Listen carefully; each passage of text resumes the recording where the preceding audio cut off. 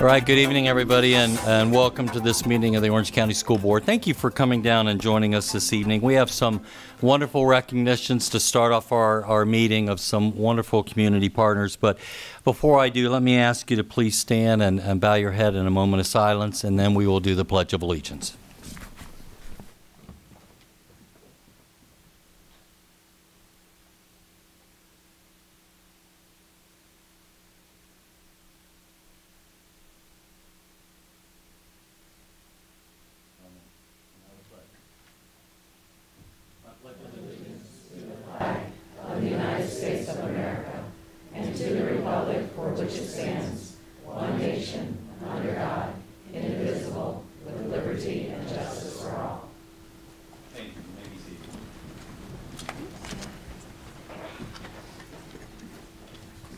As I mentioned, we have some terrific recommendation, uh, uh, uh, recognitions to do tonight. Uh, this week is National Red Ribbon Week.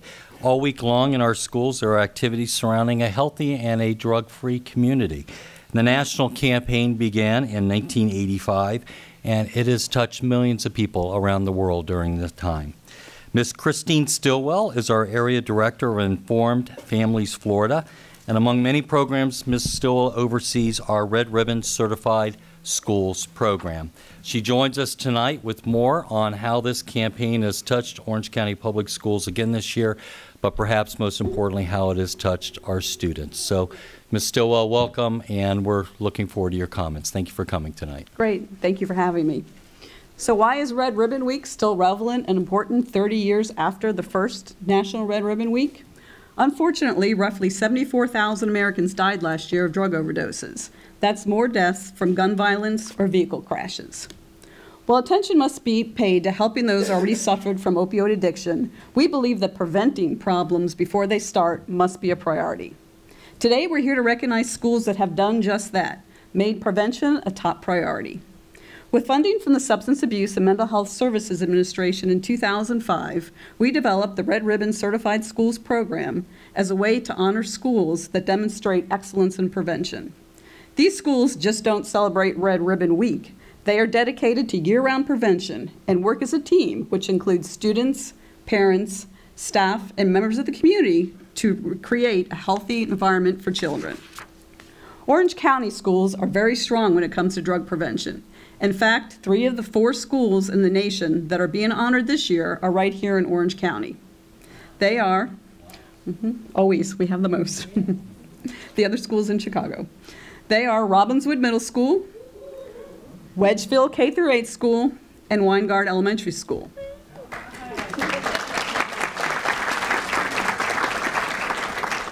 This is a tremendous accomplishment. Not only are these schools doing excellent prevention work, but they are dedicating time to complete a comprehensive application that was ultimately reviewed by a group of experts in the field of prevention under the guidance of the University of Central Florida. The schools were reviewed in the following four areas. Leadership commitment to a healthy school environment, use of best practices in prevention education, parent involvement, and year-round commitment to Red Ribbon Youth Substance Abuse prevention activities. Our three Orlando schools will be joining over 80 Red Ribbon certified schools across the nation who proudly display their Red Ribbon certified school flag. So now, with Sharon Warner, a Red Ribbon certified school mentor, we will be calling these schools up to, prevent, to present them with a plaque, and I'll be telling you a quick snippet about something that we noticed on their application. The first school is Robinswood Middle School, and we'd like to recognize Principal Nicole Jefferson and the lead applicant, Otis Milton.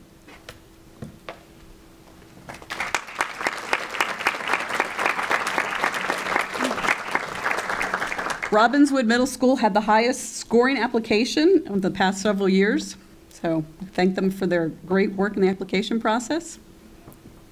Wedgefield K-8 School with Principal Natalie Stevens and lead Audrey Getter.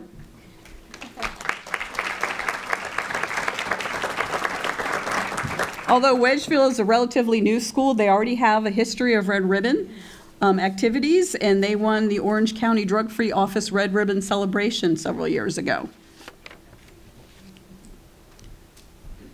And finally, Winegard Elementary School with Principal Megan Rivera and lead applicant Christine Mochow.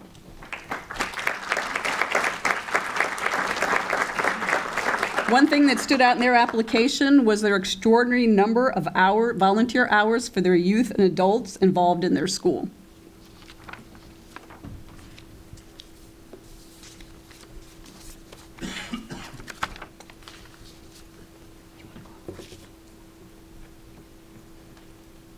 Okay, thank you for having us this year.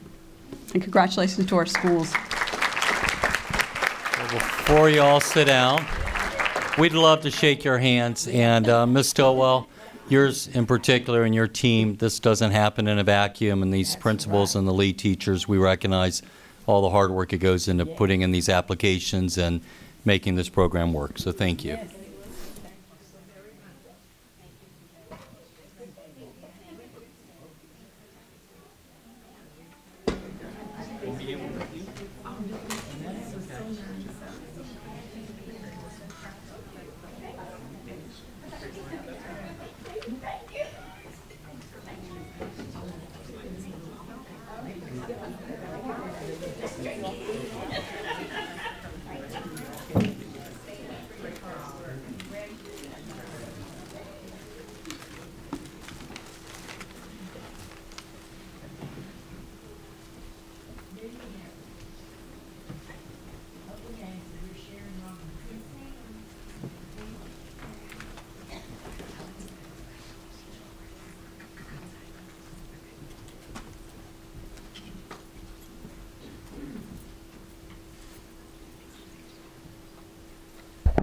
All right, also tonight, we have special guests uh, from Talk of the Town Restaurant Group and from Hello Florida Destination Management. Um, Their representatives are here to do something that we absolutely love on the Orange County School Board, which is to make a check presentation to us, and more specifically to the Foundation for Orange County Public Schools. Um, Talk of the Town selected the Hello Florida Field Trip Fund as the charity of choice for the month of August. And through this fund, uh, diners were asked to uh, contribute and encouraged to round up their bills when paying their checks to contribute to the fund. And due to this contribution, low income students have had the opportunity to attend STEM related field trips. So, for that, we thank you very, very much because that's something that's uh, really at the top of our priority list. We're very proud to welcome and introduce Talk of the Town Executive Vice President Clark Woodsby. Vice President and Chief Operating Officer Seth Miller, Director of Sales and Special Events Ms. Amy Hernandez, Marketing Manager Brittany Oliveria, Hello Florida Senior Vice President and General Manager Vic Laxon, and Senior Account Executive Shannon Orme. Welcome. I understand you have some good news to share with us, and I would love to invite y'all. I don't know what I'm supposed to be doing here as far as protocol, so I'm going to take the privilege of the chair and ask all of you to come on up to the lectern and share with us this wonderful news. And thank you.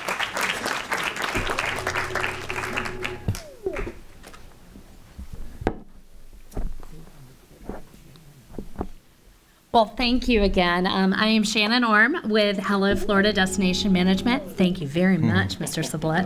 Um, and I, again, I think you summed it up, but we are so privileged as an organization to partner with our partners at Talk of the Town. And if you'd like to say a few words, thank you all again. We're really thrilled to see this program just increase every Yeah, year. thank so you. thank you.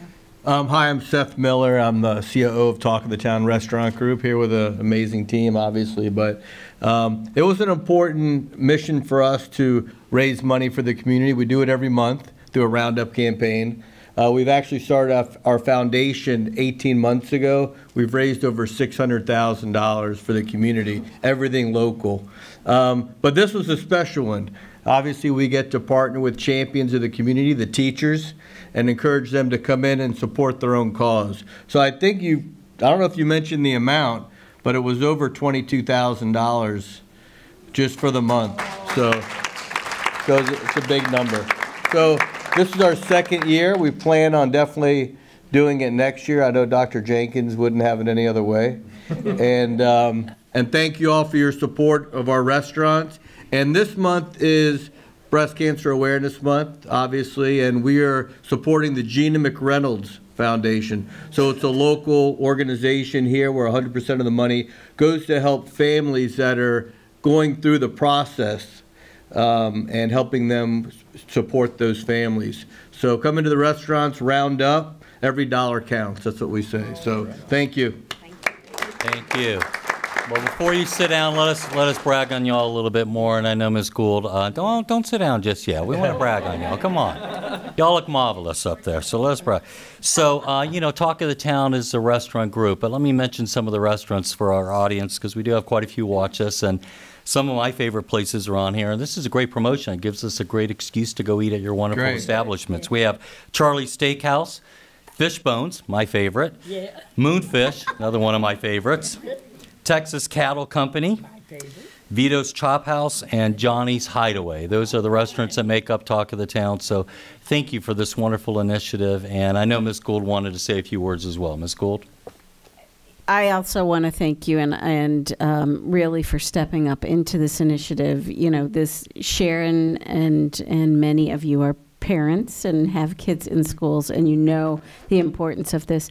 But also, you really wrapped around our teachers with special pricing for them, which made it not only affordable but fun to go out and eat um, at the at the restaurants and be able to give back. So it really was a wonderful, wonderful way to um, to support all the programming that we want to be able to bring to our students. So thank you very much. And and um, my favorite is Moonfish. So just to get my favorite in there too. I'm with you. Well, we'd love to shake your hands as well. So thank you Okay, again. Thank you. And I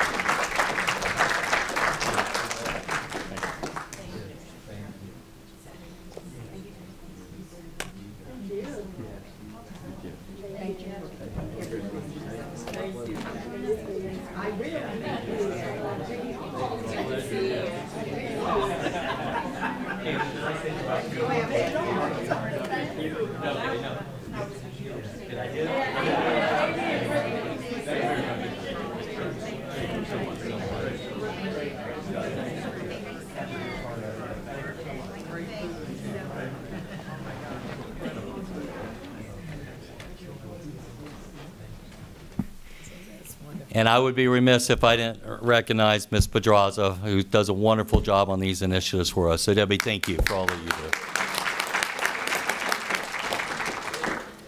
do. All right. uh, Yes, Ms. Cadle. Can, can we give a shout out for um, Ms. Pedraza's team and everyone who worked so hard on the golf tournament? What did you all end up raising? Well, 137,000 in sponsorships alone. We're still tallying. Wow. 137,000 in sponsorships, and they're still tallying the results from the day. You could buy raffle tickets, you could do auction.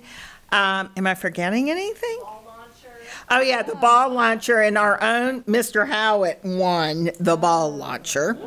Um, You could buy mulligans, right? Or no? No mulligans, but uh, we did have the long drive uh, professionals out there. The long drive professionals. So, um, a lot, there were, I, Mr. Pachenko and I are just very good friends now because we were in, on, we were on 18 thanking all the sponsors for the day. And people came and talked about what a great event it was, how much fun they had. And if I can tell you one thing, they really liked playing golf in October instead of September. So it was, it was still hot, but it wasn't as hot as September was. So hats off to your whole team who were phenomenal that day.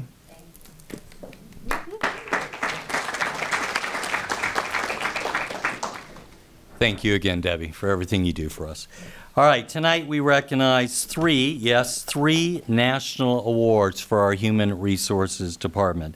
The awards are all from the American Association of School Personnel Administrators, and our team was recognized at their annual conference in Minneapolis, Minnesota earlier this month. James Preußer, Senior Executive Director of Human Resources, and his team are here for this recognition. Mr. Preußer, please stand and let us recognize you. Have your entire team stand. Let us recognize all y'all. I love the shirts.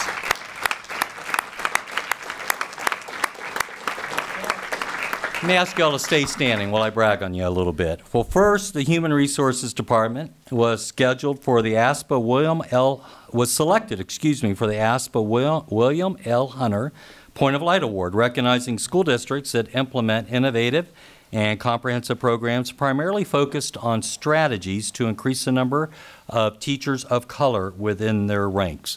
I think that's a wonderful initiative. Let's give it up for that first award. Congratulations.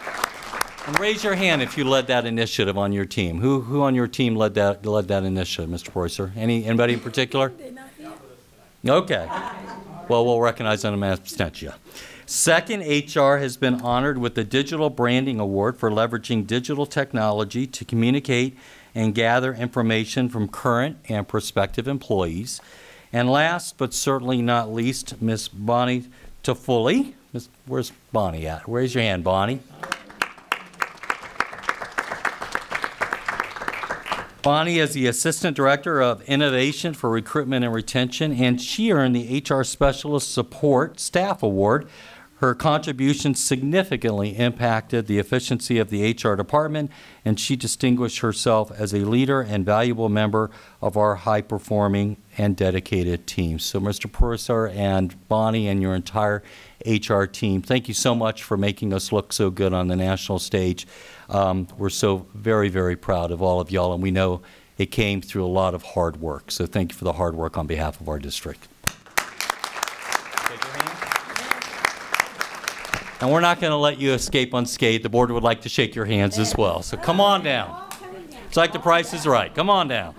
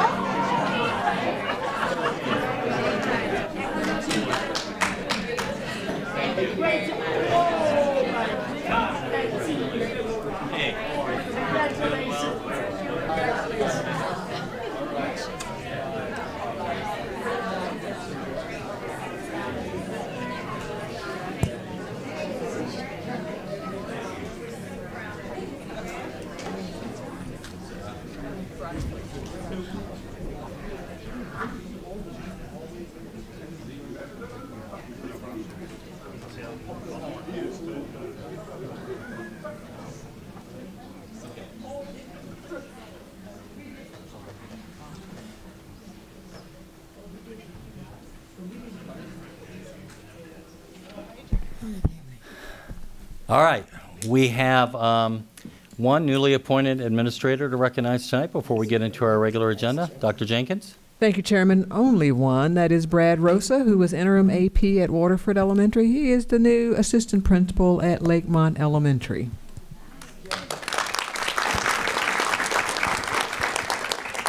Thank you. I'd like to take the time to thank Chairman Sublette and the board, Dr. Jenkins and her staff.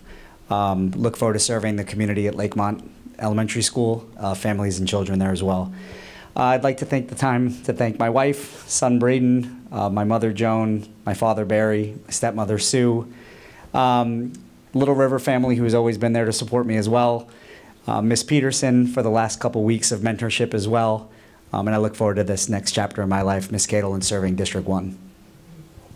Thank you. Ms. Cato?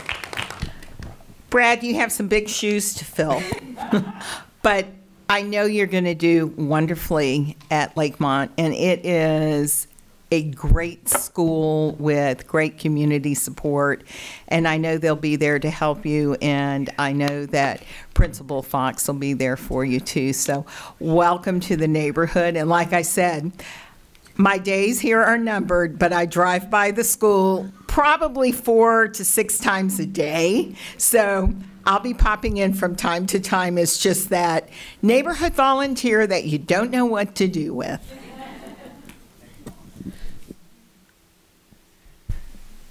Sarah, I have a speaker card. I just found it. Thank you. Thank you. Sorry, guys. Mr. Rosa, uh, congratulations. Um, forgive me, but is this your son here? What's his name? Braden? Braden, you have been wonderfully well behaved. Stand up and take a bow for us. Say hi to everybody. This is Braden, everybody. Congratulations. For a little one, this is like watching paint dry, so I always like to recognize them. So, Mr. Rosa, congratulations. I always like to share with every newly appointed administrator that your appointment really signifies one very simple word to this board and administration, and that word is trust. It means that we trust your leadership abilities. It means that we trust your judgment. But perhaps most importantly, it means that we trust you with the future of our community, our children. And for that, your loved ones and your family and your colleagues should be extremely proud of you as we are extremely proud of you. So congratulations, Mr. Rosa. And now parents hate me for this, Mr. Rosa, but it's ice cream time. So take that wonderful kid and go out and, congrat- and, and celebrate. Congratulations again. We'll pause here for a moment.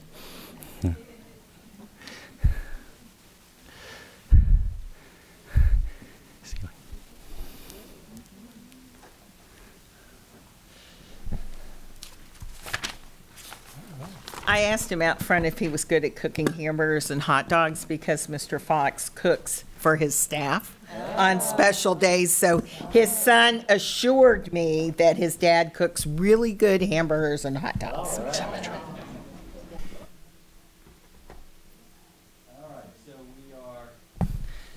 Uh, Now on our uh, strategic uh, plan update, um, let me turn it over to to Dr. Jenkins. Thank you, Chairman, uh, members of the board. This is a required annual update uh, per the Department of Education and new statute for you to receive a public briefing. If you'll recall, we keep some of the information at a high level. Other information is still considered confidential per statute. Tonight we have our school safety specialist, also known as Chief Brian Holmes, to bring you the required annual update. Chief Holmes. Thank you, Dr. Jenkins. Good evening, Chairman Sublette, uh, members of the board, uh, Superintendent Jenkins. Uh, As she just said, um, this is the first of what will be an annual or yearly update uh, required by the state. Uh, It was passed as part of the Marjory Stoneman Douglas High School Public Safety Act, which you'll hear me say quite a bit tonight. Um, And uh, uh, It's a good thing, and we're glad this is happening uh, for the state of Florida and for all of school safety. I'll go over briefly our agenda. Uh, I'm going to do some background on our safety and security programming. Um, We'll talk a little bit about this role of the school safety specialist and the responsibilities. Uh, I'll talk about areas of prioritization of our safety and security program.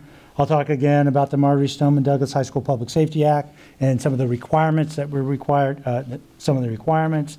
And last but not least, I'll do a status and an overview of some findings uh, based on our Florida Safe School Assessment Tool. So into the background. First of all, the tragic events that took place at Marjory Stoneman Douglas High School obviously puts school safety, security, emergency preparedness, and mental health programming on everyone's radar. Uh, that said, OCPS didn't just start this. Uh, you, the board, have been hard at work um, approving, funding, and allowing us to move forward with what I would cons- uh, consider a very robust and rigorous program for safety, security, uh, mental health, and emergency preparedness. Back in 2014, uh, the board um, employed a school safety and security consulting firm by the name of Safe Havens International. Let me catch up on my slides. To conduct a district wide safety, security, and emergency management assessment of the school district. It came in and really took a hard look at what we're doing here for security programming. Uh, They made recommendations like, a- and this was a very extensive report. I don't know how many pages it was, but it was very thick. Uh, It had a lot of recommendations. It was almost a cafeteria plan, so to speak, of what you can do better, how you compare to other districts, um, very thorough. It also went out and conducted what we call an SRVA, or a Security Risk and Vulnerability Assessment of every Orange County public school. They literally went in to every school and looked at it and gave us a report, a very thorough report of not only what they found, but what we should do differently. Very, very thorough. Uh, in 2018, let's flash forward four years, uh, we had the event at Marjory Stoneman Douglas. The board was on top of it. Uh, They again uh, enlisted Safe Haven uh, in- International to come back to perform an updated safety and security and emergency management assessment of school. Now, this is before they passed uh, Marjory Stoneman Douglas, and they turned that around very quick. I think once it got to the legislature, I think it was in, in the legislature for three weeks and out. That's how quick. But the board was on top of it and brought Safe Havens back. And what did they do? We had a sampling of schools because we already had a very thorough look at the schools previously. We had a sampling, but they also took a look at what we had done in the last four years. Have we been sitting on our hands or had we been putting our back to the plow? And um, I'm proud to say uh, we've been, we were working.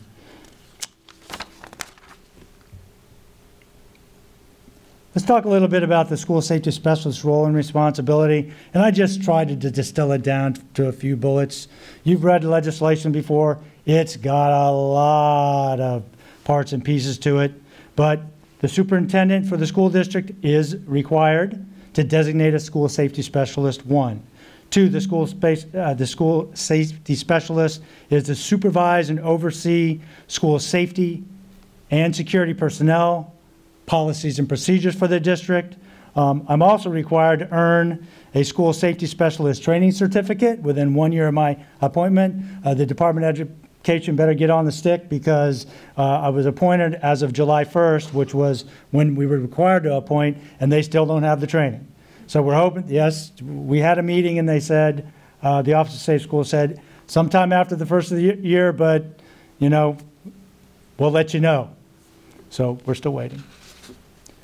Last but not least, and again, I'm trying to distill this down to the idea, uh, the position is to focus on providing a safe educational environment for all students within the school district.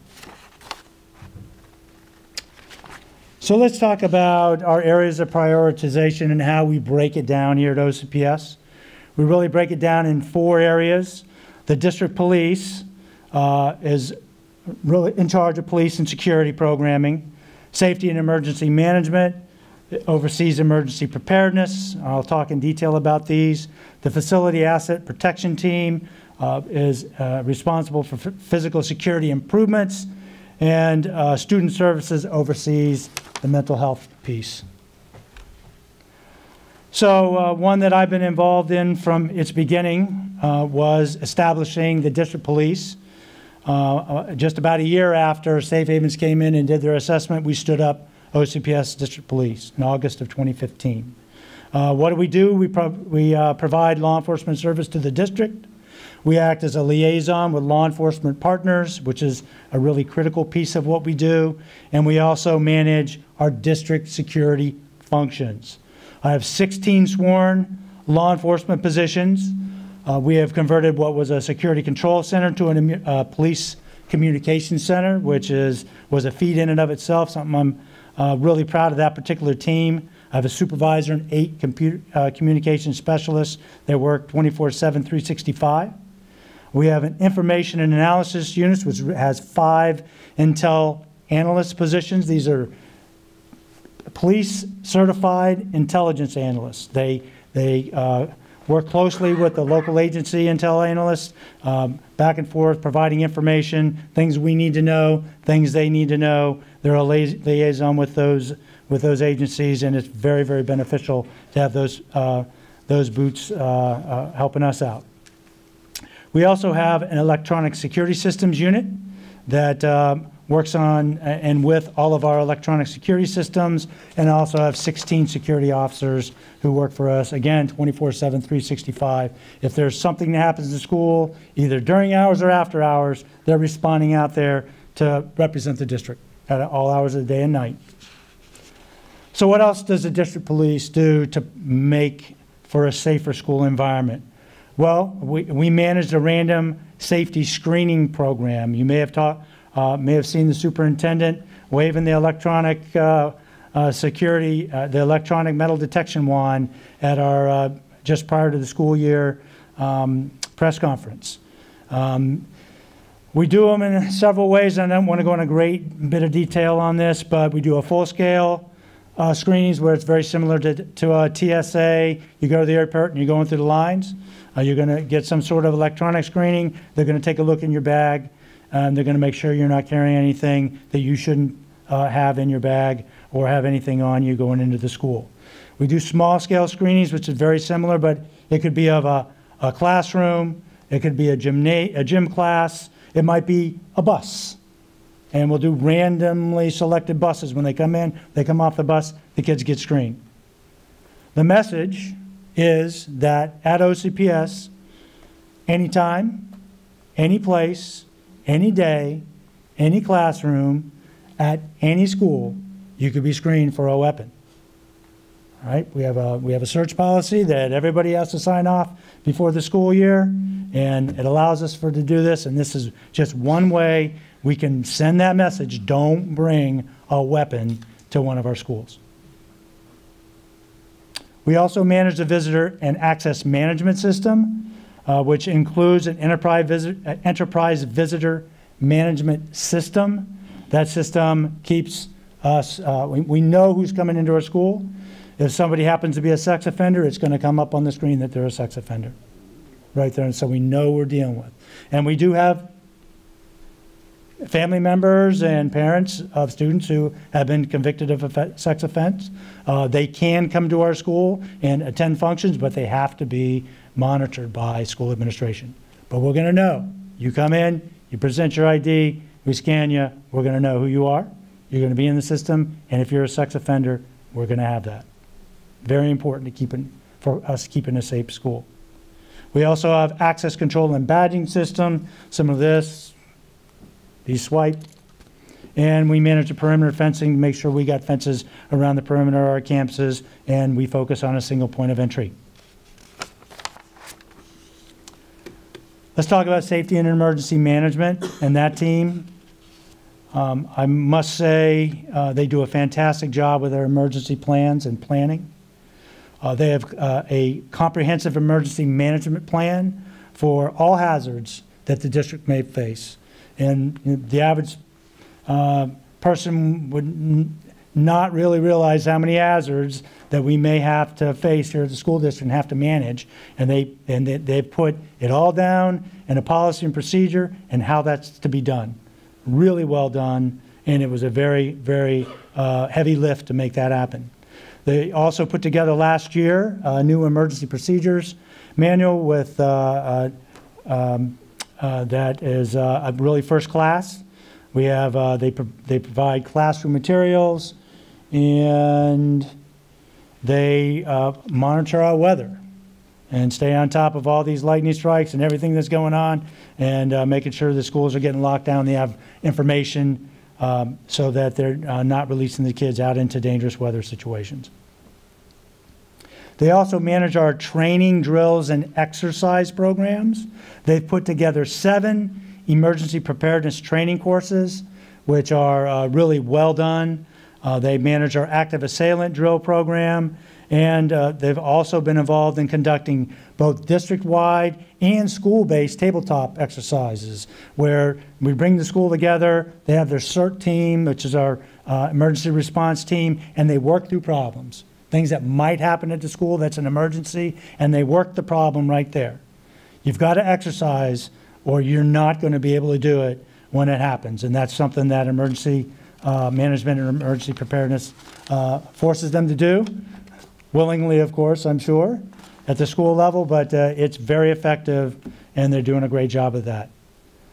We also have Facilities Asset Protection Team that uh, handles all of our physical uh, security improvements, which include a VIX. We call them VIX, but video intercoms. When you go to enter the school, you push the button, you can talk to the person that's the gatekeeper right there on the video intercom. They can see you on the screen and they can talk to you. We have proximity card readers again, back to the badges. We have, again, the per- perimeter fencing program. They manage signage, school design guidelines, and these are really important because this is where we can plug in the latest up-to-date uh, best practices into our schools right up front. They call it CPTED, Crime Prevention by Environmental Design. What can we prevent before it actually happens, just through the design of our school? Really, really important, and they do a great job of managing that program. And they have other confidential surveillance strategies that I'm not going to talk about here today, but uh, they are involved in that along with the district police. And last, and what I would consider prob- probably the most important, is the district's commitment to mental health of our children. This is truly, in my opinion, a prevention and early intervention strategy that's been long overlooked for years, and I am so glad that Marjory Stoneman Douglas came in and threw some funding on top of this. All right, I'm going to talk about that a little more in detail, but let me just tell you what they do. They provide a continuum of services to meet the social, emotional, and mental health needs of all students at OCPS. Uh, they have, and this is part of what they've been doing to update and upgrade since Marjory Stoneman, but they've in- increased our community partnerships to support students with mental health needs. They work in collaboration with uh, my office of school safety specialist to collect data on youth mental health first aid training and mental health follow up, as well as uh, they provide mental health staff. And so far this year, since the beginning of the year, remember we got new funding, and these ladies up here in front, uh, Mary, Mary and Anna, are smiling because they got a big check. Very similar to that big check they were holding up here. They got a big check.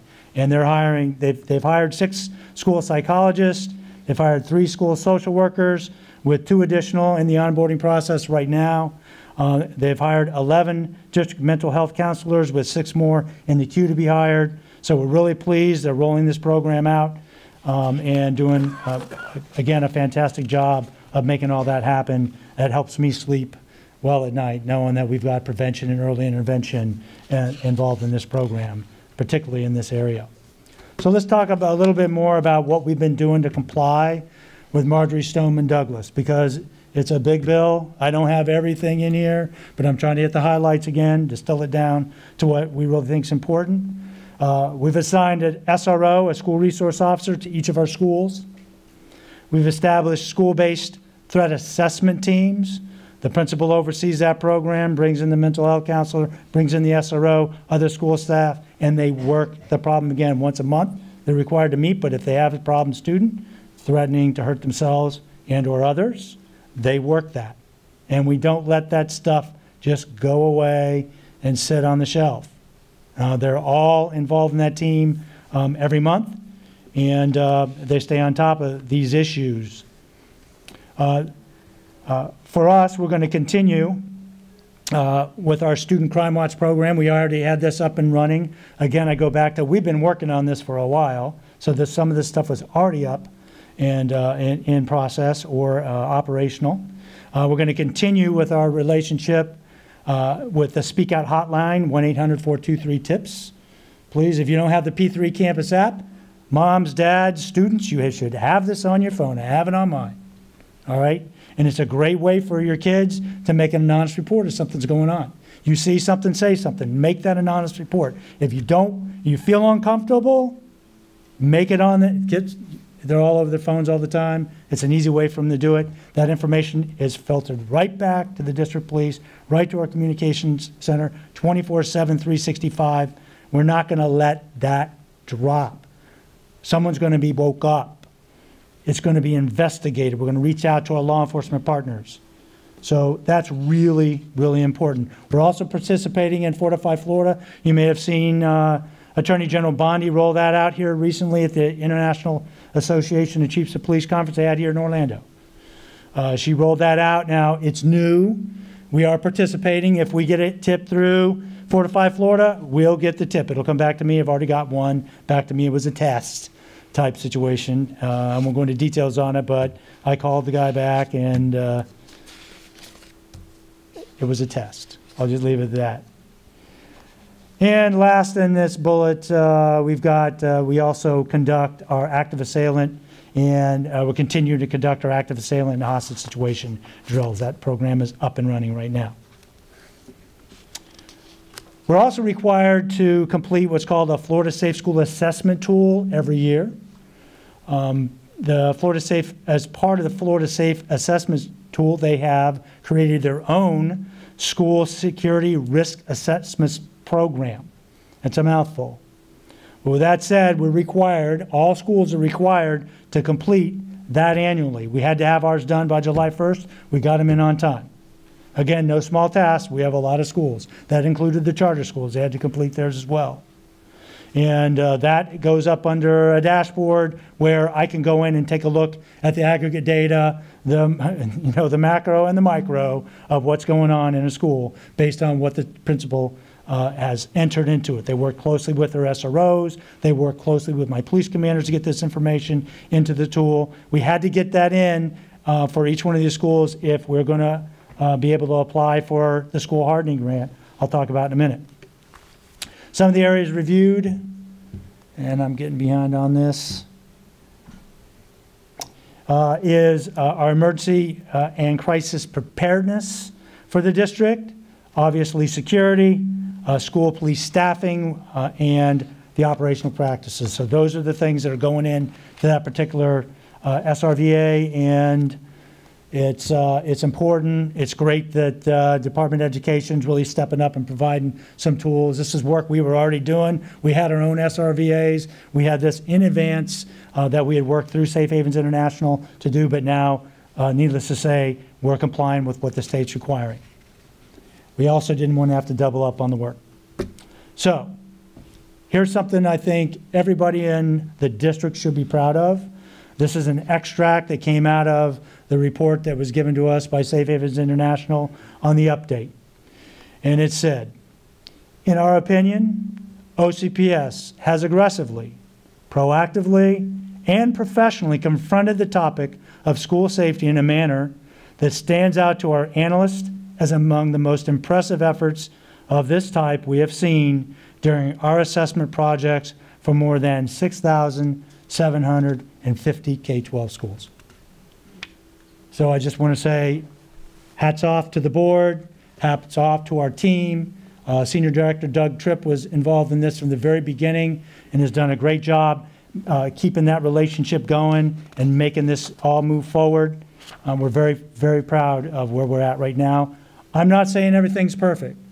And if there's a parent out there that has a safety or security concern, please don't get up here to the microphone and blast it out the world. Please don't go on Facebook and start saying how concerned you are about what's going on.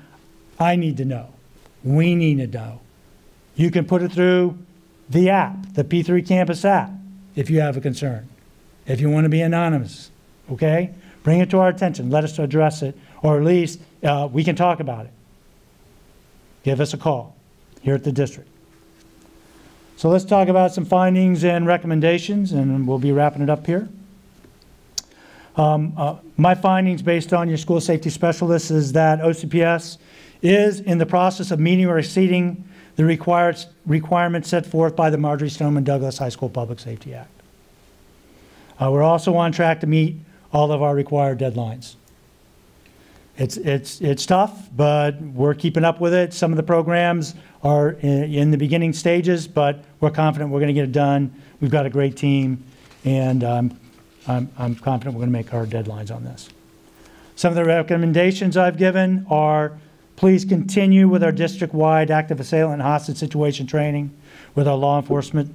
It's so important that that piece right there be done and done well and be effective. It's got to be effective. The kids can't be treating these type of drills like it's just another drill. All right? We need to, we need to train like we're going to do it in the real world. There's no time to waste. None. We also, uh, I suggest we continue enhancing our school electronic and physical security infrastructure. Some of this money has already been provided for us, and we're continuing to improve our camera systems and all of our access management systems, bringing it all down to one camera system, et cetera. I can go on and on about it. And we have that funding, and it's already been approved by the board. Um, We'll come back to you if we need some more. I promise. That said, um, we are interested in the hardening grant. We want to pursue that educational facilities security grant for hardening of our schools. There are areas, everything can be approved, and we have some very uh, aged um, classic schools. And they're wonderful, but they don't have the same types of things that are built in on the front end on all the new state-of-the-art schools. All right, so we need to go back, look very hard at those, and even some of the newer schools need some hardening right up front. So uh, I'm not going to go into details on what that is, but uh, we are going to pursue that grant, and hopefully um, we're going to qualify for it. So with that said, um, that, that, that's your update, and uh, I'll stand by for any questions if anyone has any. All right, thank you, Chief Holmes, for that excellent summary. Uh, Mrs. Gordon? Thank you, Mr. Chairman. Uh, to Dr. Jenkins and to uh, the chairman and, and the school board, I really want to thank you, Chief Holmes, for the professionalism of your officers and your security team. Um, all of us have been out in our schools and our communities, and we've been having lots and lots of meetings and events that we as school board members have attended. And I really believe that there have not been one board member up here probably could say that we were not um, protected in some form or manner with either both the security team on campus or an OCPS officer or working together as a team with other law enforcement officers. I know every one of my meeting, it has either been both our security team and OCP police officers and the sheriff department, if it is the unincorporated Orange, and the OPDs of the 13 municipalities. So I do want to say, I know it started off pretty rough. We're trying to get the law enforcement to understand and accept Dr. Jenkins' dream of having this OCPS police team and people crossing the line. But in all of the meetings that I've attended, and I'm sure the other board members would make comments in reference to it, they're very impressed with the respect that you are showing and working together.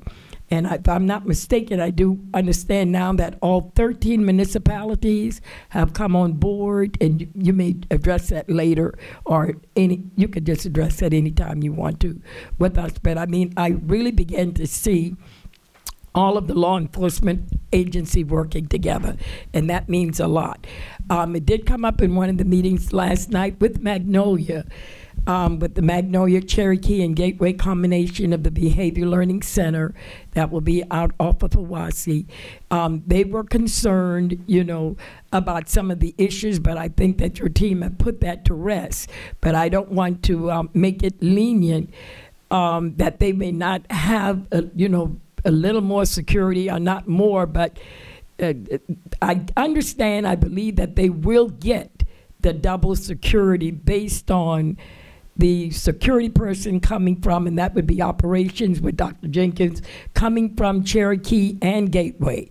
So they may have reinforcement you know, of some type if they if they need it. And I want to commend you all for even working on that, even if it's not settled, because it's not going to be until about 2020 when they, you know, really get their foot off the ground. So I appreciate that endeavor. Um, the hostage situation training. I, I'm, I'm so glad that that's coming up because as we go throughout our community, we are hearing a lot about it, and the faculty and staff and parents being informed, even at the Parent Academy, um, even doing a hostage situation at the Parent Academy for parents in case anything happened there because they know that that is becoming a very large gathering place. And what a place, you know, to catch somebody off guard. But I know that we are always reinforced out there, but I didn't want us to take for granted um, that the hostage situation could be a training that can be also given to parents while they are at the academy or any other event that we are having with children, that we all are trained to protect ourselves. Um, I congratulate you and Dr. Jenkins and the entire staff, the security team, and the police force for exceeding the the regulations set forth and meeting the regulations and getting those reports in. I was called to task um, about a week or two ago, and I had to call Dr. Jenkins to get Scott Howard to write up a summary for me. And he must have gotten your report because I think I did it verbatim, almost everything that you had there. It was just a blessing because the audience um, came from all over the state, and there were state representatives and senators and um, police um, officers, and then there were the, the Republican and the Democratic Party also there, and people from the DEO. And our that report was very impressive. Um, that was sent to me by Scott Howard, and I wanted to thank Dr. Jenkins because I was put on the spot to come up and handle exactly what you had to say. What is the situation of Orange County Public School? And we had not had this meeting, but we had previous meetings. So I really want to say to the superintendent and the chairman for the executive sessions and thank you for having us informed. I do want you to know that it did come up where people want to know the secrets of what's what and and I did that came up with the sheriff department and how we are not disclosing, and I heard you really pressed it, we do not give out all of the details as to protecting our children and our and our facilities. So I do want to thank you for it, and I really want to thank Dr. Jenkins because that I was really put on the spot. I think somebody, one of the elected officials, a state representative, did not show up, and the state called and asked me would I speak in behalf of the um, the, the the Marjory Stillman uh, Stillman Act. So that was kind of rough. But I thank Scott Howard for being efficient on that day and sending a very condensed report to me that I was able to share with the public um, from all over the state. So, Dr. Jenkins, thank you, and Mr. Chairman for having us in executive session. I'm learning a lot about the safe harbor, and they were very impressed with the safe harbor report that I was able to give them a portion of that port, report and distribute the findings there. So again, I want to say thank you, and we appreciate all the effort and what you're doing for us. Thank you, Mr. Chair. Thank you, Mrs. Gordon. Um, Ms. Cadle. Chief Holmes, I want to thank you for all you've done to make sure that our children are safe. And, you know, we've been sitting here talking about safety for many years. And I think the fact that Safe Havens came back and said that we really have been proactive. And I know sometimes last spring when parents were upset, a lot of times I would hear from parents who have younger children that you know, maybe the oldest they were were third grade. And sometimes you have to reflect of what did it used to be like, you know, before you had to bring your driver's license in, before you had to sign into the um, volunteer management system. There, our schools are so much safer than they were five years ago, seven years ago, 10 years ago. We're not perfect but we're working really, really hard. And one of the things I've been the proudest of of this board was when we did our strategic plan before there was anything else going on, we said we wanted a safe work environment. We said we wanted safe construction sites. We wanted our teachers to feel safe. We wanted our children to feel safe. And we wanted our community to feel safe. And I think as a board, we have not lost the importance of that. And we have worked really, really hard. So everyone who has had a hand in it, all the principals, all the teachers who make the classroom safe for our children each and every day. Thank you for all your hard work. Thank you, Ms. Cadle. Ms. Kobert. Thank you, Chair. Chief Holmes, I too want to commend you for the extraordinary work and the thorough work that you've done in, in keeping our children safe. Last week, I watched a video, it was not here in Orange County, but it was of a fourth grade class doing an active assailant training drill. And I am not going to lie, I burst into tears. And I, in watching what those children have to be prepared for. School did an outstanding job in making sure the children knew this is a drill, we're we are pretending, we are preparing. But just the fact that our children have to be prepared for something like that in this day and age is, is extraordinary and it's difficult. However, we live in an extraordinary time. I mean, a couple generations ago, you hid under, under your desk in preparation for a thermonuclear war. Now they're taking the desks and they're barricading the doors and hiding out of sight. But I would urge um, anyone on our district staff um, and board members and future board members to watch one or participate in one, be an observer so that we are all acutely aware of what our children need to pre- be prepared for and what our teachers need to be prepared for, because that certainly wasn't in their job description when they were going to college and, and going to teaching school. So, thank you again for the thorough work, the good work of keeping our children safe.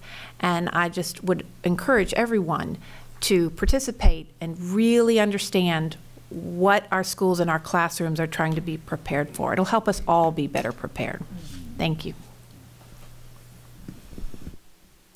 Board members, great points. Um, Chief Holmes, thank you for, for this report. Um, I do want to say that, um, first and foremost, I want to thank the taxpayers of Orange County because so much of what we do is because we have the half cent sales tax. Uh, I think the thing that we have been blessed with in this community is a community of citizens that values public education, and um, I'm sure that when they voted for that sales tax, uh, if they were like me, it was for the simple reason of, of um, uh, renovating our schools. But uh, I want everybody who may be watching this to realize that that money has also allowed us to harden our facilities, build more secure facilities.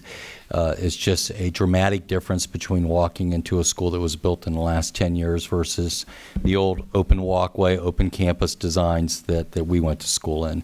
And none of that would be possible without taxpayer largesse. So thank you, taxpayers of Orange County.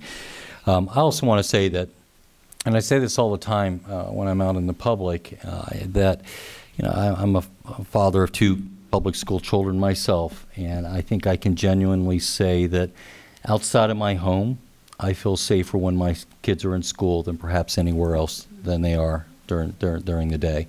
I certainly feel safer while they're in school than I do when they're on the roads, especially on a Friday or Saturday night. My kids are high schoolers. I feel safer than when they are in a mall or a movie theater. But I'm also aware of the fact that we are one deranged or mentally ill individual away from a similar tragedy. And I think every community in America has to be aware of that fact. Um, the last thing I'll say is I want to thank Dr. Jenkins and, and her team uh, and, and, and this board because one of the things that's lost so often in these reports is we started that um, um, renewal of our safe havens review before the Marjory Stoneman Douglas tragedy had occurred. And really, ever since the Sandy Hook tragedy, uh, this district has had student safety and security at the forefront of our mind. It's what has led to the creation of your department. Uh, it is what has led to the random weapon screenings, the hardening of our facilities, the social media monitoring, um, the the ability for parents and students to see something and say something, which is something that we all repeat over and over and over again, um, because it's so important that we hear of threats before um, something tragic happens. So, thank you for this report. Uh, I do want to emphasize um, we can never do enough, but we're doing all that we humanly can with the resources at our disposal. And, and we'd just like to ask everybody in the public, because people do watch these telecasts, to please be vigilant. Let us know if you see something.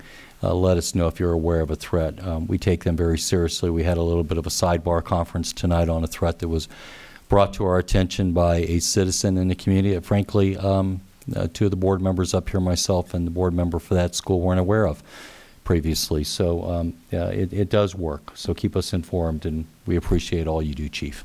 And thank you, Dr. Jenkins. All right, board members, anything else before we move off this topic? All right. Sad that we have to talk about these things nowadays, but thank you. All right, we are now board members on our regular agenda. Um, let me um, make a preliminary announcement. Anybody who would like to address any item on our agenda can do so by uh, filling out a yellow speaker card. A speaker card looks like this. You can get a yellow speaker card from, I believe it's Ms. McGill down there tonight. Ms. McGill up at the far left-hand side of the dais. And when that agenda item comes up, uh, I will call on you and recognize you to speak on that topic. At that time, you will have three minutes to address the board, and we will ask you to start with your name and your address for the record. Uh, we do not have any changes to our agenda tonight, so um, we do not need to um, uh, en- entertain a motion to adopt the agenda, so because we're set. Um, we do have a public hearing. Um, I'm going to ask for the indulgence of the board on something. Before we go to the public hearing, I'm going to ask the board to let me take up a consent agenda item first. Uh, Agenda item 4.02, because we have some ladies who have been waiting very patiently. I almost did this before the strategic plan update, um, and I don't want you to think, and I'm not going to make you sit through a rezoning before we go to this, because I know you have places to be and things to do, and you're, you're doing a service to us. So um, let me, uh, let me recognize that agenda item 4.02, board members, uh, is um, uh, approval uh, of our designation of November 2018 as a Florida Family Engagement and Education Month. And uh, one thing that we know, in fact, it's part of our agenda, is we know that research shows that students with engaged parents and families are more likely, more likely to earn higher grades and test scores, enroll in higher level programs, be promoted, pass their classes and earn credits, attend school regularly, have better social skills, show improved behavior, adapt well to school, and graduate and go on to post-secondary education. So I've got a couple speakers tonight um, that I can't wait to recognize on this, but before I do, uh, ladies, I uh, hope you'll indulge me. I, have asked Ms. Kobert to read our proclamation because this is important and loud. And then I'm going to invite uh, Ms. Ratter and Ms. Smith up to the podium and anybody else they'd like to bring with them. Did I say it right? Or, either, either or. Okay, I was hoping we'd get both of you all, but either or. Um, and let me turn it over to you, Ms. Kobert, to read the proclamation. Proudly. Orange County Public Schools Proclamation, Florida Family Engagement in Education Month. Whereas parent and family engagement in a child's learning is critical to student success from preschool through college and sets the foundation for preparing Florida students to be lifelong learners and meaningful contributors to society. And whereas creating an environment where learning takes place not just in a classroom, but as a central part of family life requires that parents and families play an active role in their children's education. And whereas the role of parents and families in creating a successful preschool through college system for Florida's children is very important. And whereas Florida and Orange County Public Schools education leaders have developed resources for parents and families looking to engage more fully in their children's education and to strengthen the connections between home and schools. And whereas Florida Department of Education and Orange County Public Schools education leaders are available to support parents, families, and educators in establishing effective home school collaborations so that parents and families can be actively engaged in the academic achievement and development of students. And whereas it is appropriate to recognize the critical contributions made by parents and families who foster a love for learning in their children, and by educators who acknowledge the importance of parent and family engagement as an integral part of the mission of Orange County Public Schools. Now, therefore, be it resolved that Orange County Public Schools does hereby proclaim the month of November as Florida Family Engagement and Education Month and encourages parents, families, teachers, administrative staff, support personnel, and students to participate in activities with their families and families across the state of Florida in recognition of Florida Family Engagement and Education Month. Thank you, Vice Chair Kobert. So now, Ms. Raptor or Ms. Smith, and it just occurred to me as she's reading that, I hope I didn't blow your comments by reading the proclamation. no, no, no. In fact, Thank you for we coming. Filled out the yellow card because that's what Pam Carson or Melinda told us to do, and then I'm like, oh, maybe we should have done that. Uh, but no, we thank you very much for your indulgence in moving us up on the agenda, and um, chairman and board members and Superintendent Jenkins, uh, we're so grateful for the support that we get from Orange County Public Schools, and. Um, we love to effectuate change. We don't want it to just be in name only, it's week of the family, but to really help families throughout the year. And one of the ways is having, um, we've started making our theme always be applied to the student themselves. So no matter what their life situation's like, and as a prosecutor, I saw horrible stuff, but just in themselves, how do they effectuate change in the world around them and hopefully in their future as a parent? And um, so this year's theme was practice kindness. And so um, we had for, so we moved it, like we said before, to the spring. And so we had um, 256 entrants in the essay contest. And we had a mayor's contest. They won a mayor's trophy. And we're getting a big, like, Stanley Cup type thing to. And Acceleration Academy East High School is winning it this year. They had 91 entrants. So that was super good.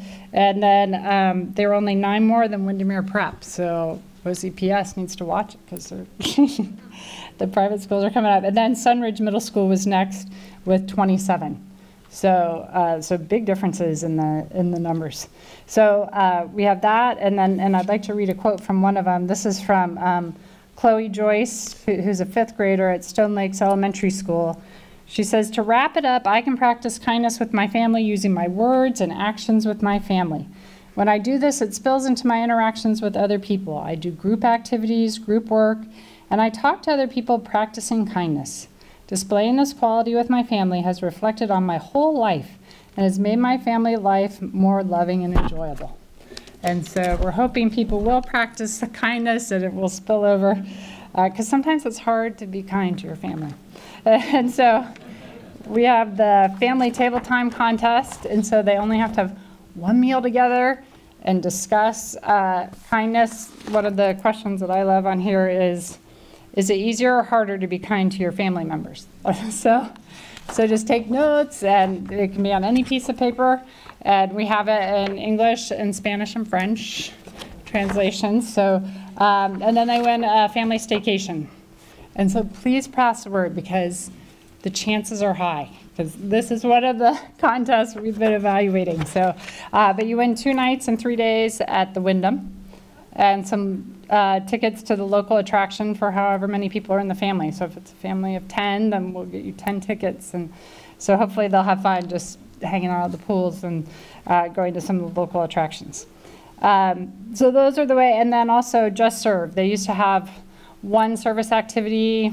I don't know how people found time on a Tuesday to go do a park at the YMCA playground or something. But so we encourage people to go to Just Serve, the app, and find things to do with their family. And on there, it'll say like whether it's age appropriate for younger people or if you have to call ahead, and whether it's okay for groups. And so then families can serve together and spend some time together. So, um, so we're super grateful. The events is on the website, so check us out. And um, we are just once again so grateful for the support we always receive from Orange County Public Schools, and we hope to continue to see OCPS schools winning the mayor's trophy for the essay entrance.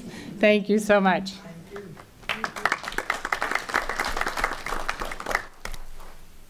Well, thank you again. As us as grateful for y'all doing this for our students and our families, and it's such an important initiative. So thank you so much.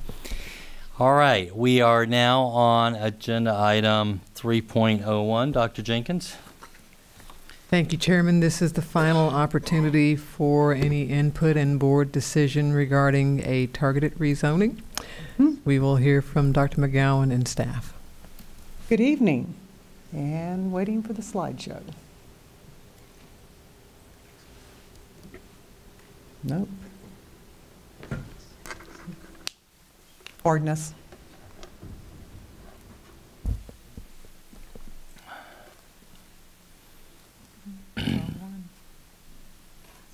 That's, no, that's what we just had.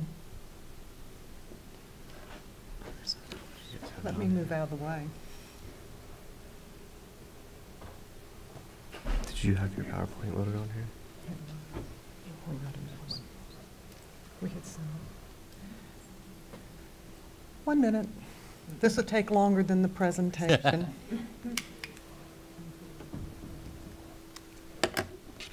So let me say, as they're loading that up, something I say every time we do a rezoning. Um, After uh, Dr. McGowan uh, goes through the presentation, uh, we will then entertain a motion and vote on this proposed targeted rezoning. Uh, To those who may be watching, there may not be a lot of questions from the board. I always like to point out that by the time it gets to this level, by the time it reaches the board table, we have already had a rule development workshop on the issue and have uh, spent some amount of time vetting the issue, hearing from the public, and entertaining their thoughts and suggestions, and having a pretty lengthy discussion on our own. So, um, are you ready, Dr. Yes, sir. McGowan? All right, well, let me turn it over to you then. Thank you, and I apologize for the delay. Good evening. Uh, Let me introduce Renata Parapche, who's with me this evening from Student Enrollment. This evening, we bring you a targeted rezoning for the Watermark area in southwest Orange County.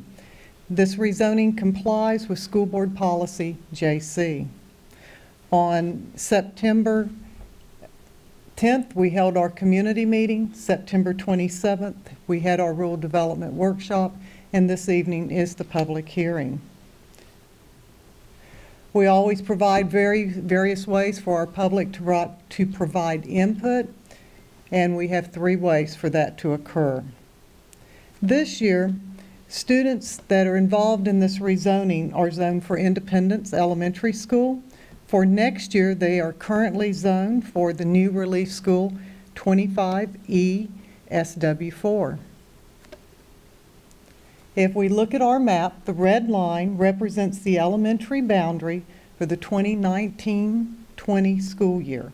The two schools involved in this rezoning are 25E SW4 and 49E W4.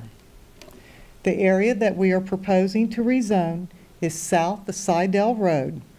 And again, this area is zoned currently for 25E SW4.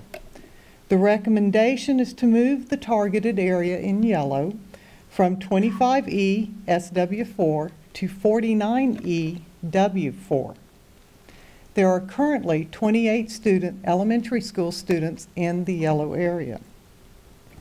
If this rezoning is approved, the purple area will be the zone for 25E SW4, and the green area will be 49E W4.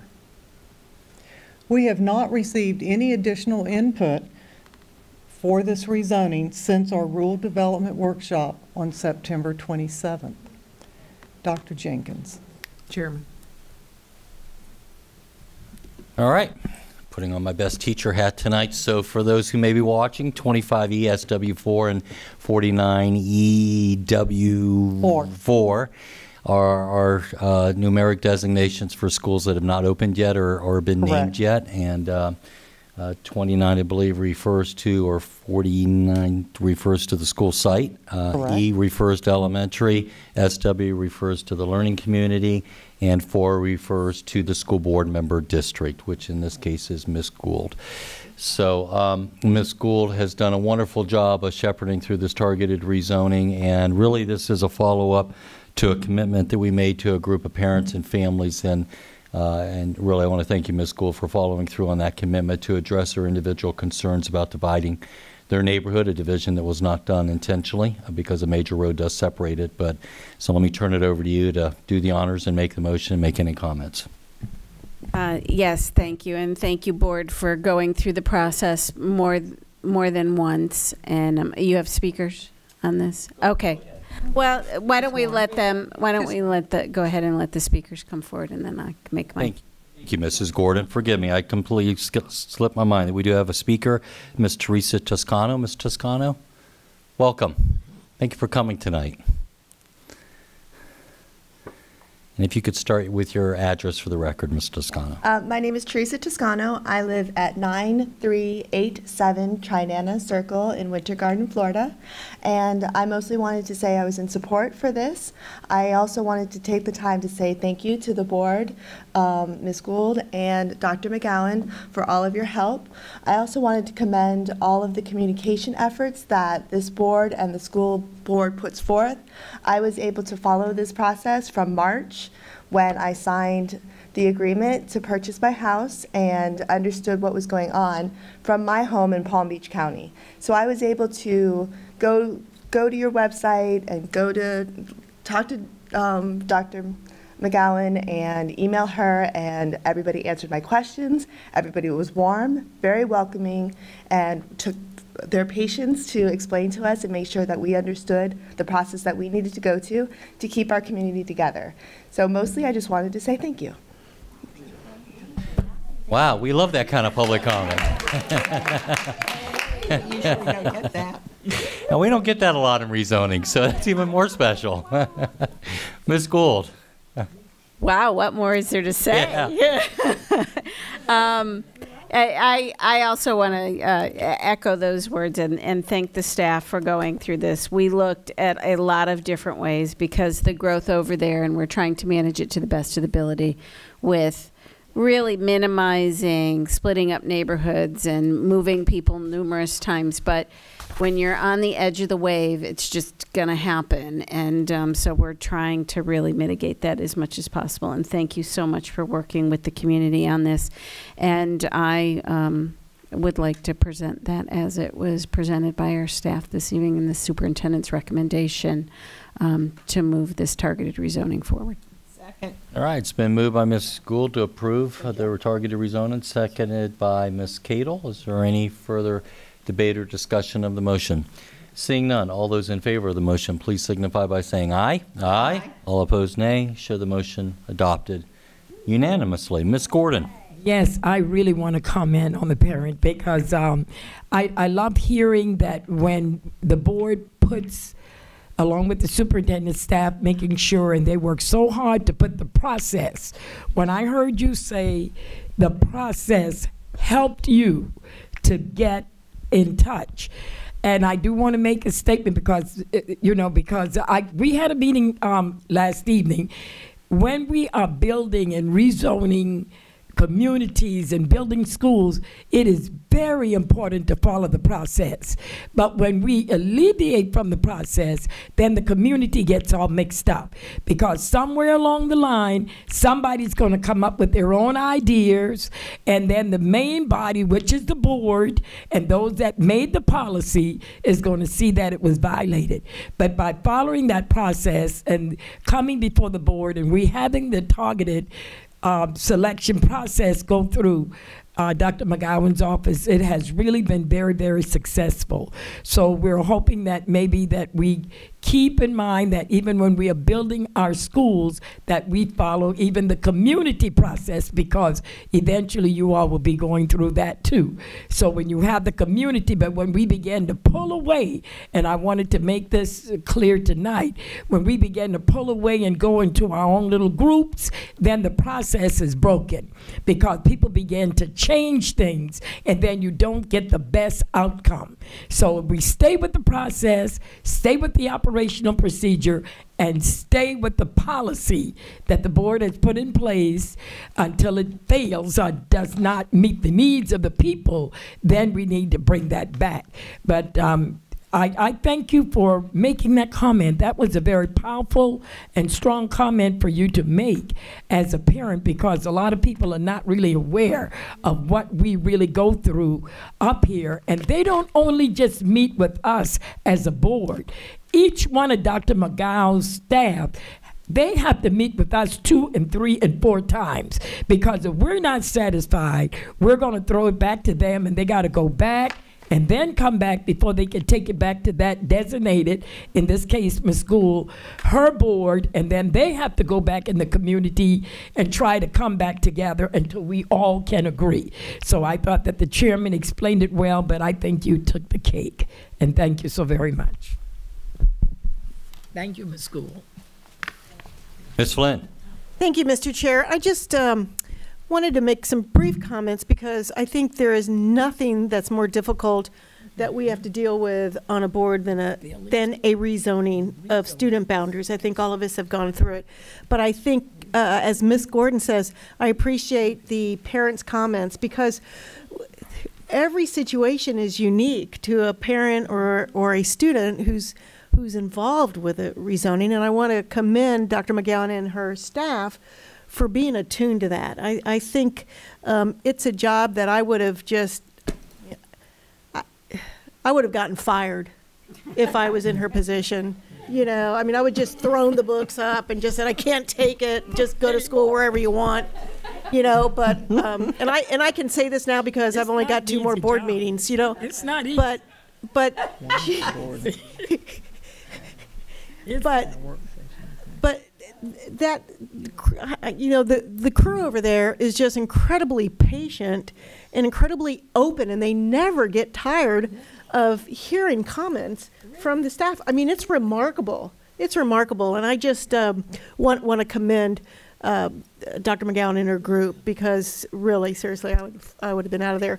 But um, and to the parent, it's good to have that feedback because you know it's like the woman who came and spoke to us last week that said, you know, I'm a parent and yeah, I don't have time, and we're all like, and then you start listening, Listening and- and you hear everybody's situation, and you just have to keep those ears open and and listen. You know how you always hear listening is the most important aspect of any task you do. So I just wanted to give those comments and, you know, thank the parent and, and thank you and Renata and your crew. You guys are remarkable. Thank you.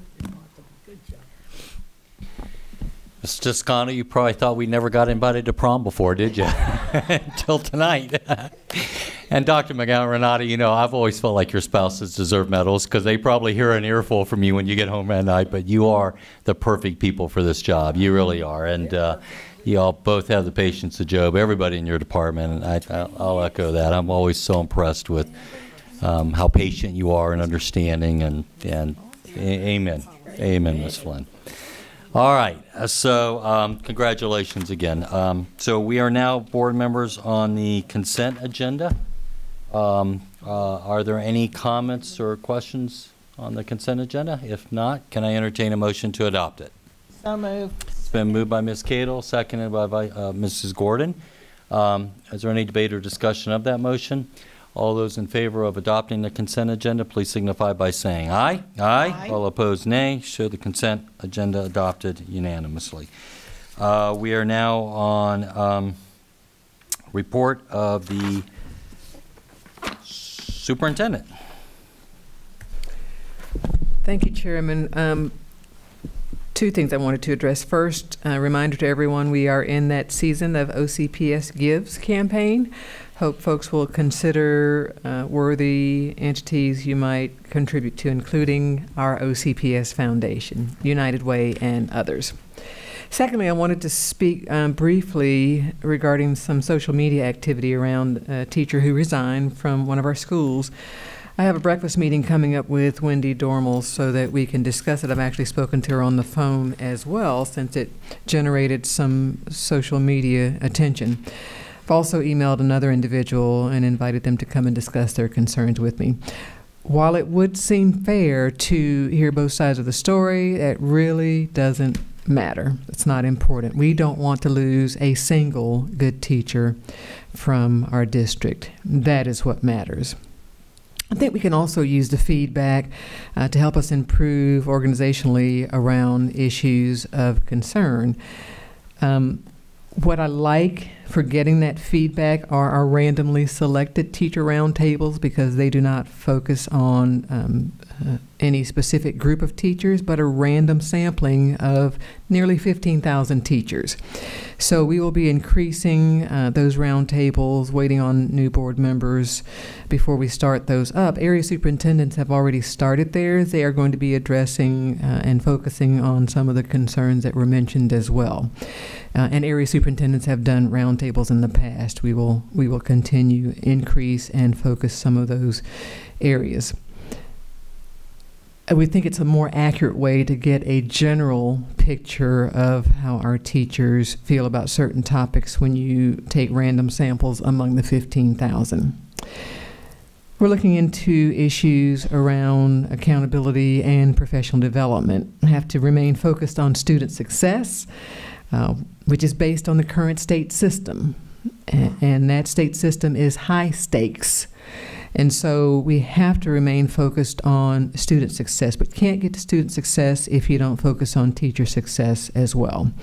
High performing districts research is clear, focus on centralized uh, curriculum, centralized assessment, and centralized professional development. Large urban districts, because they have mobility, sounds like my mic went out. Um, because they have to focus on mobility and significant uh, student and family needs. And so we've tried to focus there as well. Nonetheless, we need to be sensitive in how we help both teachers and students succeed. Uh, I, I heard one comment that 20 years ago we did not um, require as much of teachers, and I reminded them 20 years ago we had less than a 50% graduation rate. And so you have to remember times have changed and the stakes are high both for our children and for our students. So we're going to work on, uh, again, a balance between helping students and teachers succeed. I sent um, my quarterly email uh, video message to teachers this afternoon. I wanted to read it to you uh, briefly just so, and, and you have a copy as well. But here is the actual script. Uh, can you believe we've started our second grading period for this school year? I want to thank you for all that you do for the children we serve. Their success is the core of our business, and we recognize that you are the key to that success. Here are a few points I want to make. First, thank you for being a safe haven for our students. You're making a profound difference as you continue to give the message that they can come to you if they ever have a problem and that you will get them to the help they need. Second, let's continue to help students realize that passion and perseverance can make the difference for their success. Hard work can actually help students get smarter due to the nature of the brain. So that grit, passion, and perseverance is what we want them to have. Here's an interesting fact. Research strongly indicates that students perform at higher levels when a teacher gives simple feedback along the lines of, I have great expectation for you and I know you can accomplish them. You see, what the research actually showed was a handwritten note on a student essay that simply said, I know you can do better, resulted in much higher performance by students as you've guessed by now, my quarterly message was going to be more than talking about a, a teacher's resignation. I wanted to give them additional information as well. Thirdly, nothing has significantly changed in our current state accountability system and pay for performance requirements. Students can be retained or fail to graduate based on standardized test results. Schools are still labeled with a single letter grade, regardless of our advocacy to end that system, and teachers and principals still have their employment and pay raises based upon student outcomes. It's important to stress teachers and principals. Until such time that we're able to impact those laws, we remain committed to helping you succeed and keeping Orange County as the place for teachers to work in Florida. Last year, 99.6% of our teachers received highly effective or effective evaluation ratings, making them eligible to receive state mandated performance pay raises. Let me assure you that we are always striving to meet your needs. Improved teacher retention rates might indicate that we are moving in the right direction. Number four, I want to thank you for working collaboratively in your professional learning communities at school. Remember, last year we decreased PLCs from three required to just one per week, except for schools with great student needs. Essentially, that is one out of up to 10 planning times. When teachers come together to problem solve and develop lessons, the outcomes for students are positive.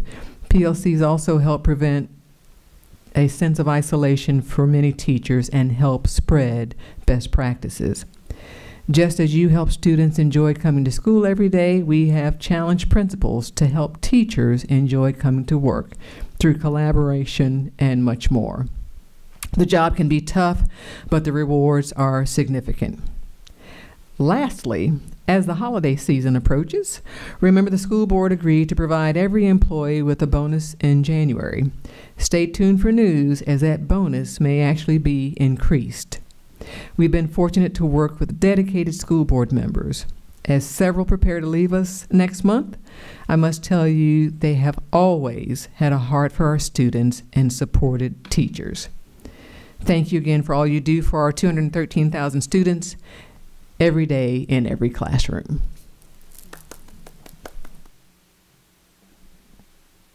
Thank you, Dr. Jenkins. Um,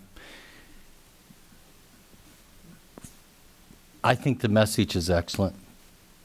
I, I, I really do. But I do think also, just in one school board member's perspective, I think maybe going forward, the less focus put on this issue, the better.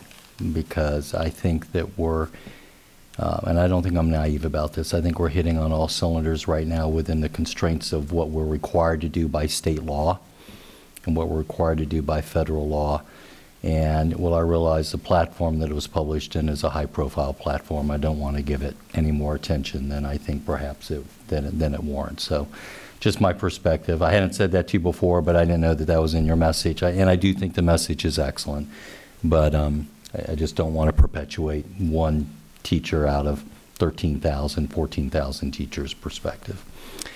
Um, Mr. Rodriguez, any um, general counsel's report? No report, Mr. Chair, and just an executive session after this. Okay. Um, All right, we have one uh, committee report, Community Action Board, Ms. Gould.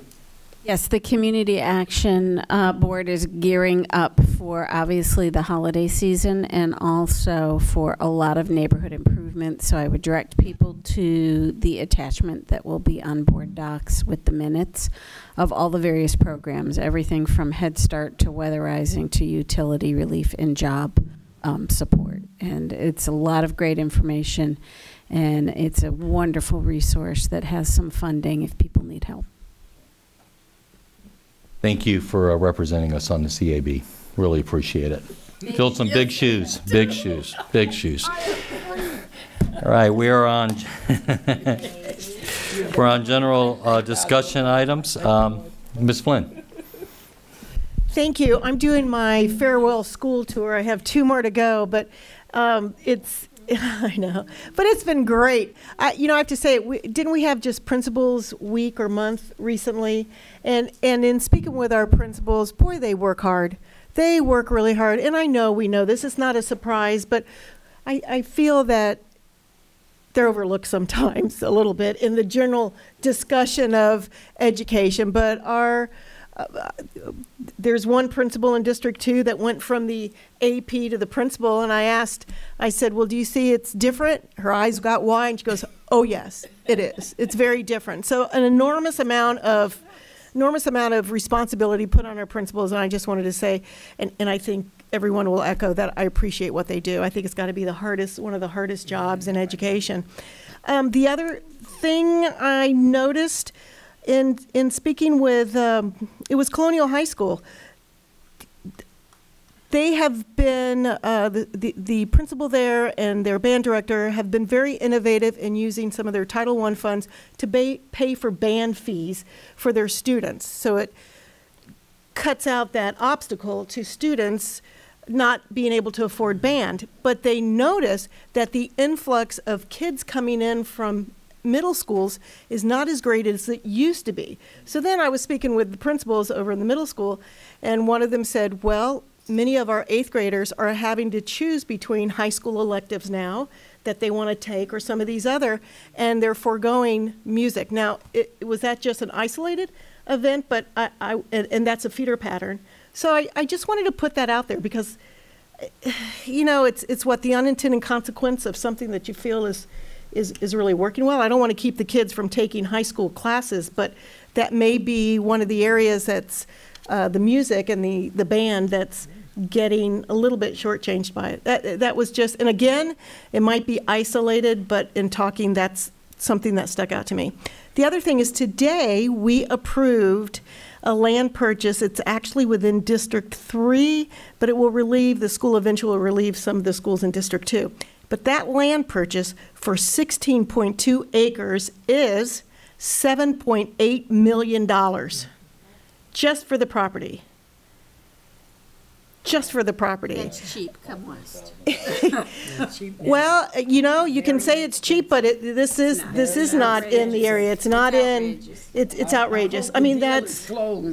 The deal is closed. But I, I just want to say, when people say we don't plan ahead, that we don't, it's outrageous that that's not just the cost of the building. Then we have to add that on there. So I, I wanted to put that out, that, you know, that is a challenge that we have when we're building our new schools.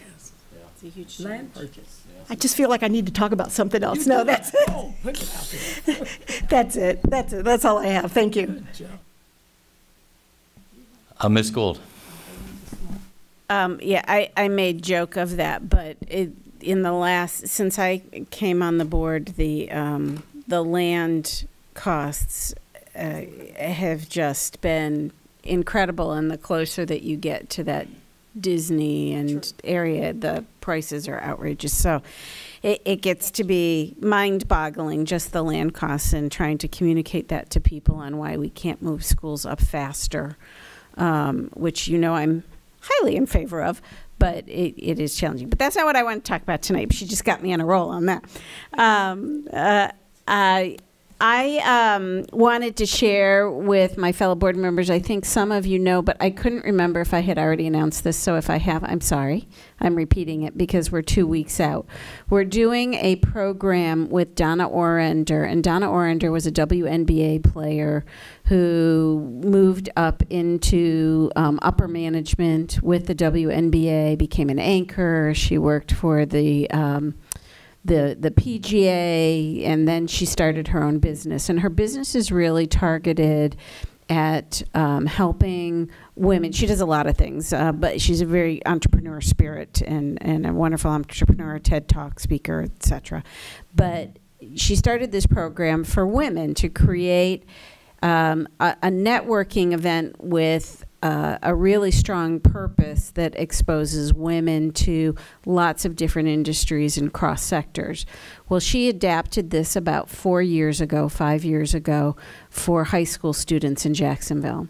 And we are partnering with her to bring that here on Wednesday, November 7th from 2 to 6. We've partnered also with Plaza Live, so we will have 400 high school girls um, in the audience, and we're recruiting 200 mentors. I need 40 more mentors for this program. So we need 40 more mentors. Um, if there are already ADDitions volunteers, it would make it a little bit easier. But if you get onto the OCPS website and right on the front page, ocps.net, there is a GenWow button, and click on that. Um, it'll take you through the uh, application process, and we will do our best to get that screening done. But if you already are screened and able to work in our school programs, please step up and join us. Um, it's going to be a phenomenal edutainment day. It'll inspire the mentors as much as it will our young women and really open up the eyes of our students to all of the various career opportunities, no matter what sector you're talking about. When we talk about STEM, they often think you have to be a doctor or a computer scientist, and there are so many different jobs um, out there. And we will have wonderful women from everything from entertainment to, to healthcare uh, kind of sharing their story in a very, very fun, interactive way. So uh, please help us get those last few mentors for these lovely young ladies. And it's not a huge time commitment. The, um, the program, you'd sit with them through the program. There will be a walk that uh, there'll be instructions for, and then we ask if you can try to reach out um, twice in a year.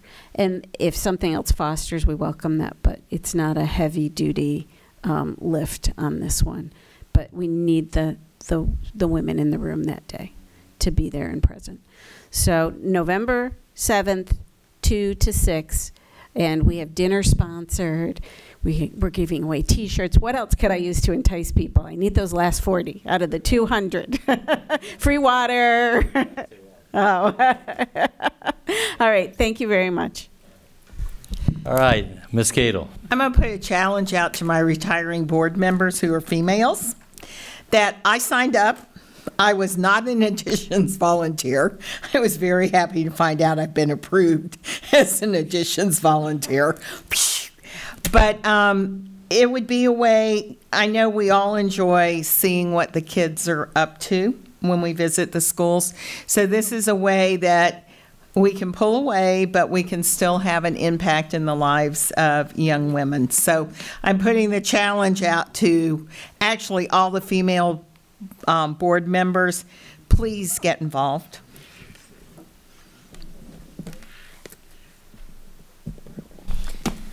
All right. Yes, Ms. Flynn. It's just, I just one more, just one. Today we did the dedication for Hidden Oaks. So Hidden Oaks was a modular school, just, you know, just really one of those that was horrible. And a comment that was made by a teacher who had been there from the very beginning or there for 20 years. She just made a comment like, Yeah, we just sort of gave up trying to get moved up. And, you know, there was that feeling, it seemed that they had been forgotten. And when you think about that, the one, one half cent came about in 2002, I believe. 16 years ago. 16 years ago, and that the weighted criteria for getting up on that list was capacity, really, was over capacity. That was the best one. And then we had the unitary settlement that moved some of those. I, I tried to say all that, but I felt, I felt really bad because, you know, they, they, they, they have, and I, there's still two other schools in District Two that are old that are getting um, renovated. So I guess with this, I'm just trying to say that they weren't forgotten. I, I did try to say that to as many people, but there's still that feeling. I don't know what we could do, but through this, I'm just saying, you're not forgotten. It was just the way that it, it's hard to remember that from 16 years ago, why the schools were placed on that list. Mm-hmm. I promise that's it right now. Ms. Cadle. Well, and the same thing happened to me with Union Park Elementary last week, and it was one of my comments was because I was called out there three years ago, and they were complaining about the water fountains and the bathrooms, and they had very valid, legitimate complaints, and I told them, just be patient. Please be patient, and it's hard to be patient when you've waited for 12 years, but at least at Union Park Elementary, the excitement of the new building, the bands that they have. If you have not, if you have not seen the video of it, they had a jazz band of fifth graders. They had the front porch band that were second graders who sang Old MacDonald and did everything from having a little washboard that they were playing with spoons, who happened to be the principal's son, to um, a keyboard, someone who played the keyboard, someone who played the drums. There are great, great things happening in our schools. And I left Union Park Elementary going, I am so proud this happened and they are so grateful. Everyone was so grateful, and they were, they just praised how great the building was, and you know, I'm sure Hidden Oaks was very similar to Union Park Elementary. They were building the new school while the old school was over here. And watching that, and we dedicated dedicated it, but their playgrounds aren't done yet but they will be done shortly. So, um, to all of those, like what Mrs. Flynn said, the old areas of this county ended up being low on the list, and they have been very, very patient. but I think I speak for all of us that represent those. We have also been steadfast that you're not moving our schools down. If we're 101, you leave us at 101. If we're 110, you leave us at 110. We're not going to be 111, we're not going to be 112. And I'm proud that we have stayed the course with saying, uh-uh, you can't do that to that community.